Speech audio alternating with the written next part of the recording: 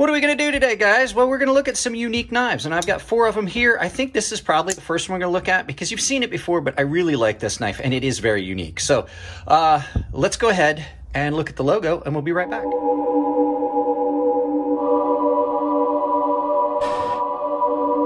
Guys, I have four knives that I've picked out here. Like I said, we're going to do this one first, but these other knives, half of these knives are mine and half of these are on loan. So I wanted to get this while I still had these knives uh, from some people. So let's go ahead and get this stuff out of the way and look at this one. Now this is the Gavko Great White, designed by Mike Gavko, done by Artisan Knives. You've seen this a couple times on the channel. We haven't looked at it lately, but I thought it would fall right into that category. I do like doing these little compilation videos.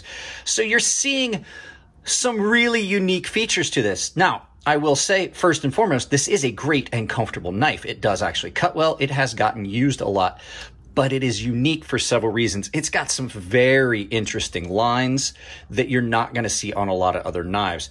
Um, you would think that this is very uh, aggressive and possibly uncomfortable, but it really isn't. It's fairly comfortable. I like this knife a lot um, for the way it feels in hand, even though I'm not a fan of thin scales or thin handles. They did a good enough job here that this does still feel comfortable.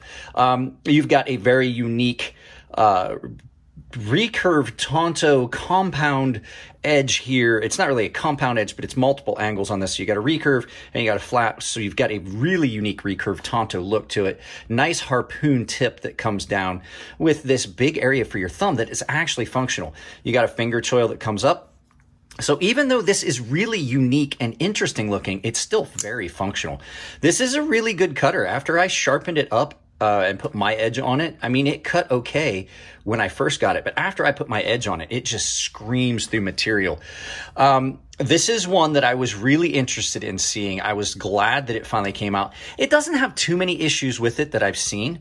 Um, it is only aperture only. There is no other deployment. It's not a back flipper. It doesn't have thumb studs. It is simply that aperture. Now you can slow roll it with your thumb like a spidey like a spidey hole or you can just go ahead and get your finger in there and just flick it open which is my preferred method. I will say the only thing i have in complaints on this knife in all honesty the only complaint i have is access to the lock bar but it's still pretty good. Really nice finish on it and the looks of it are like if you're one of those guys that carries a knife because you want it to be functional but you also want to garner attention from your fellow you know your fellow knife guys in the knife community they are going to appreciate this knife. Uh, artisan did a really good job on this. The only other thing i could say is as opposed to a lot of mike's other knives like his personal knives that he makes this is a little bit thicker behind the edge but still does cut well. So yeah, there you go. The Gavko Artisan Great White in S35VN. Great, great little knife. I really do like this. So let's go ahead and move on to the next one. So this knife is my Olamic Wayfarer 247. This was a gift to me from one of the paying members. I really like this knife. It is a it is a really comfortable, comfortable knife. What makes this knife unique is just its overall design. Um, it has got a unique handle that I never thought I would like until the first time I picked one up, and I was like, wow, that is really comfortable in hand. It's super ergonomic. You've got such an interesting pocket clip that you would think it'd be a hotspot. It is not. It is one of my favorite pocket clips of all time. The one on this knife. You got a big ceramic ball, easy in and out of pocket. It's lifted up off, but there's no hot spots. As angular and thin and everything as this pocket clip looks, really comfortable. You've got this big, long, they call it a sheep's cliff blade, but uh, really long uh, blade on this with a nice rounded area that comes up. It's not aggressive in any way, shape, or form. Really comfortable. This thing cuts so well. It's done in M390 steel. And then all of this. Now, I did the anodizing on this. So the green and everything you see, I did all of that in the blue but this rock pattern, this is exactly how the knife came from the factory. So when the guys at Olamic did this, they did a really good job on making this. This knife has got super good action. Like I said, really comfortable in hand. Only issue I have is I wish the pocket clip, or the, not pocket clip, a finger uh, flipper tab was just a little bit more straight up and down than being in like that. But still, it's not super uncomfortable. Good functional jimping. You have a flipper if you can get in on it. The action on it's really stiff, but the action on this thing is so good. Listen to that thing. It snaps open with authority. If you like lanyards, you've got a lanyard hole if you want one. I'm not such a big fan of them, but it's in there if you want. Um, you can see all of the internals in here. Uh, it does have proprietary hardware, but all in all, great knife, super functional. If you want a good, solid. If you want a good, solid workhorse of a knife, this is a great one. You've got a lot of blade that is done in a steel that holds its edge really well. This thing sharpened up, nightmare inducing sharp. Uh, and it, like I said, really comfortable to do a lot of work because you've got this nice rounded area. It fits in your hand really well and you can just put a lot of force behind it and get work done and, and really cut through some heavy stuff.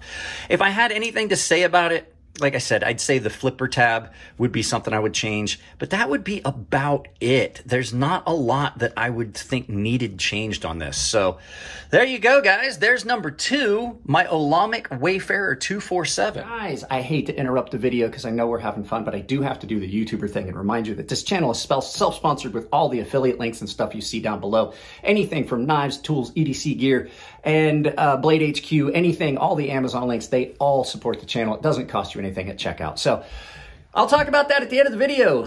Now let's go back to the knives. This next knife is the Vision R. It's a Snecx design by We Knife Company. I'm currently at a point where I don't like this knife, but I'll show you some of the unique features. So you've got interesting looking blade. It's a nice upswept angled uh, Wharncliffe it is running on bearings, titanium scales. You've got some unique features, unique pocket clip, uh, unique locking mechanism, which is not horribly unique if you really want to know the truth it's very similar to some of the other locks like the atlas lock the shark lock uh, axis bar lock they're all just kind of variations on it and i'm sure internally it's a little bit different you've got some unique look to this knife and the act the way it feels is definitely unique. So this knife is unique. Uh, I have a lot of problems with this knife, so we're not going to spend a lot of time on it because it's getting its own video. But Snecx designed this, um, and uh, this is one of those knives that is more form over function, in my opinion. But there are some cool features. You can, just like an axis lock, you can you can push back on this and you can flip it open. Uh, drops in. This is there you go. That's one of my problems with this knife. There we go. Blowout resolved. Um, yeah, so you have some unique features and looks and things like that. But overall, I'm not a fan of much of anything on this knife except for the blade shape. It does have a good looking blade shape. Um, and if it's just something, if you're into something that is just more artful, and creative than it is for function, then this might be the knife for you.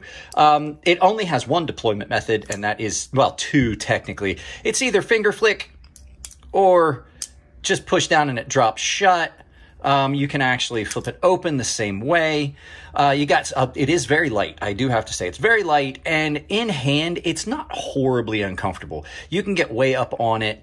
Um, in and out of pocket, this pocket clip it does allow you in and out of pocket pretty well, but the fact is, it sits in a weird position where you wind up with it uh, sitting in a position you might not necessarily want it.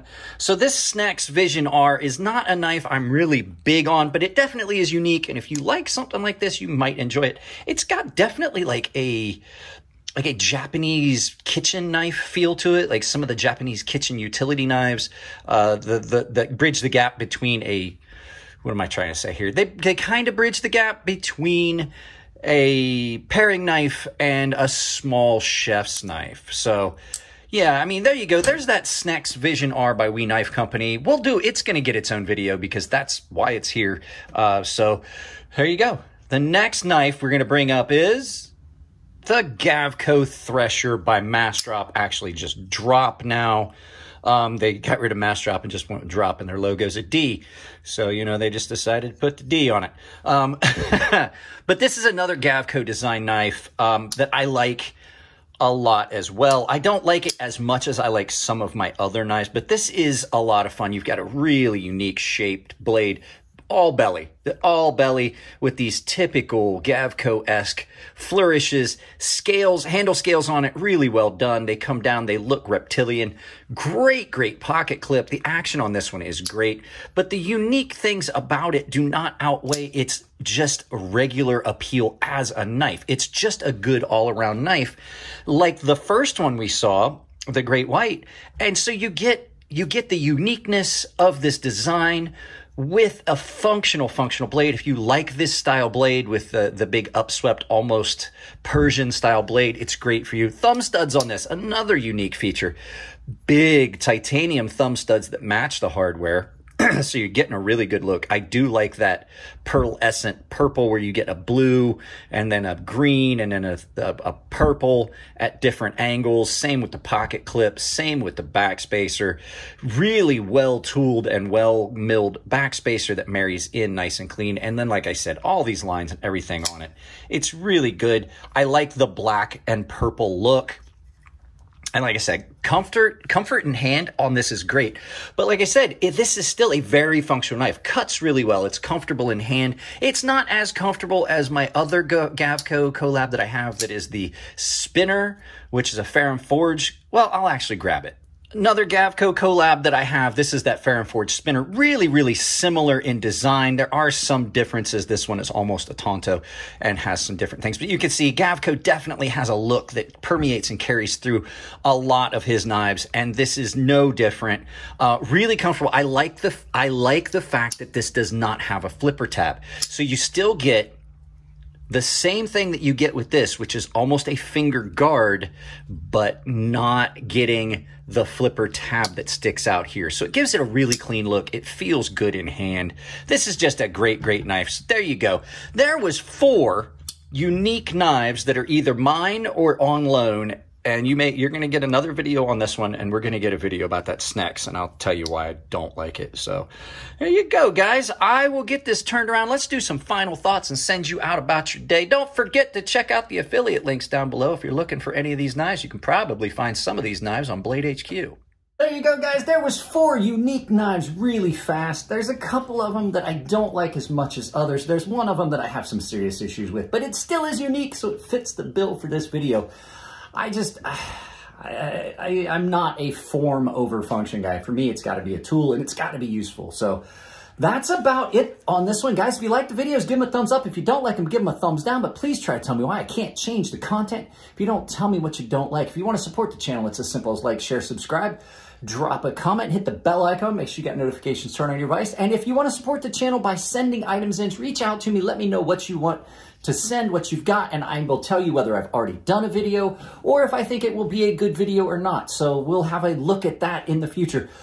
The other ways you can do it, if you want to do it financially, one of the best ways that doesn't cost you anything is to use my affiliate links for any shopping you're going to do. I have a ton of Amazon affiliate links down there. Anything you purchase, even if it's not the items that it's linking to, like soap, shampoo, toothpaste, whatever you buy, and you use those affiliate links, it supports the channel directly and it doesn't cost you anything to check out. But there's some specific links down there, I have a Dalstrong knives. I have Coffee Brand Coffee. I have Blade HQ. A lot of the knives you see on the channel, you're going to be able to find at Blade HQ. So other ways you can do it, I have got a membership. If you want to support the channel through a membership, you get some benefits that only you guys would get as a member. You have access to my Guilded server. Everyone does. Uh, premium and baseline tier members have access, to, or, or I'm sorry, are automatically entered into a giveaway and get exclusive content. And the premium tier guys, uh, they have access to a sharpening tutorial series here on YouTube. Um, and the final way is I do have a merchandise store. This is not the merchandise you're going to see. It's my new logo with the cross swords. But I have a coupon code on Ember Shirt Co. where my merchandise store is that will save you 10% on checkout at any of the other creators' stores as well. And that coupon code is Crazy Sharp, all one word, capital C, capital S, Crazy Sharp, saves you 10%. Uh, guys, that's it. I love you all. Keep it clean in the comments section. If it's your birthday, happy birthday. And I will see you in the next video. なるほど。